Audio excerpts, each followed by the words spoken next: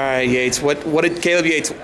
First off, three state champions from Northwest Ohio at 106 pounds. I don't know if they've ever done that uh, ever in the history of uh, Ohio State wrestling tournament, but going into that match, winning Division One state title, what's it feel like? First off, It's unexplainable, man. It's it's something I've dreamed about my whole life since I've started wrestling, and I can't believe the moment's here. You know, I have great partners out at Foxfire, Drew Matton, state champ, Josh Vina, state champ, and we just came here and we did our job.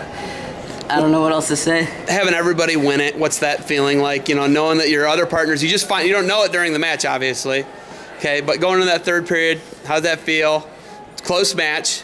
Put him on his back. What's the feeling after that? It felt great. I mean, I knew once I had that half in and I saw that arm trap, it's been my move all year. I've been hitting it, and I just felt confident with it. I took him over and stuck him, and when I found out those guys were ones, it meant the world to me, man.